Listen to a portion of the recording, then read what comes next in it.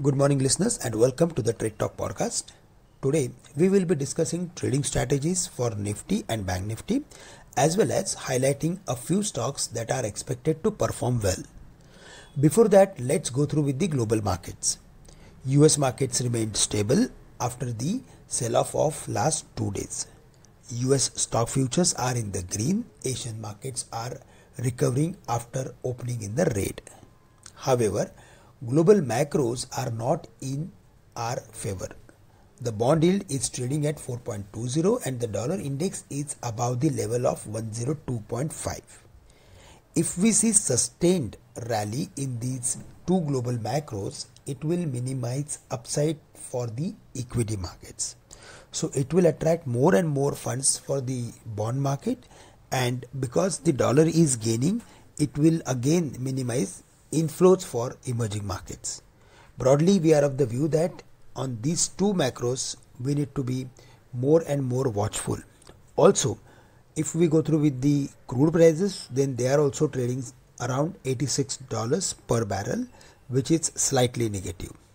However, if we go through with the overall setup of our markets, then on the day of weekly expiry, we saw further sell off in the market and Nifty touched the lows of 19,300.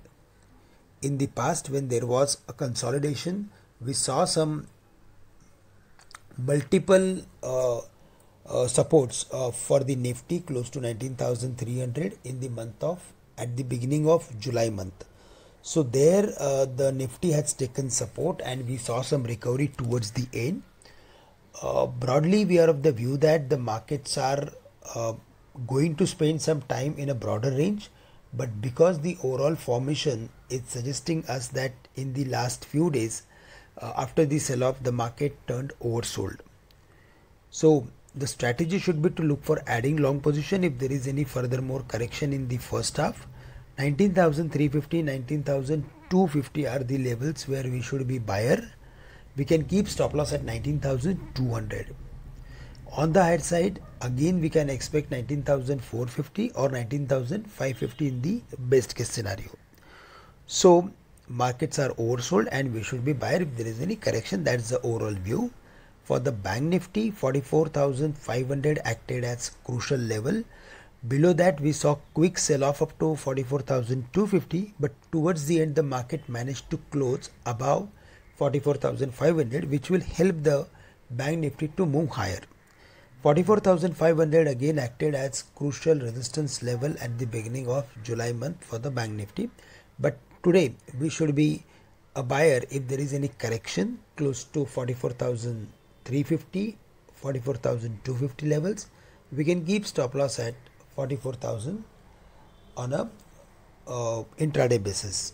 For the Nifty IT index, there also we saw recovery. It is in the range after hitting the lows of 29,600, 29,650. It recovered back and now the upper boundary is around 30,000, 30,200. So we may see some activity in the IT companies from the lower levels and uh, in this particular fall they have they they didn't participated. So broadly we are of the view that uh, IT companies should also participate in the uh, uh, in the current up move if there is any uh, specific bounce back from the lower levels. Uh, apart from this major indices, we saw activity in cement companies as well as in pharma companies. Uh, in that space, we like Ultratech Cement as well as Dalmia Bharat from current levels.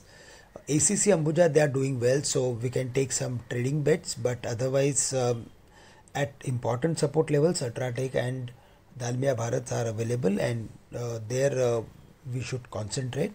Also, from the pharma space, we like Cipla. Uh, there we are expecting further more activity in the near term. That's all from my side. With this, I am ending today's call. Thank you. Have a great day to all of you.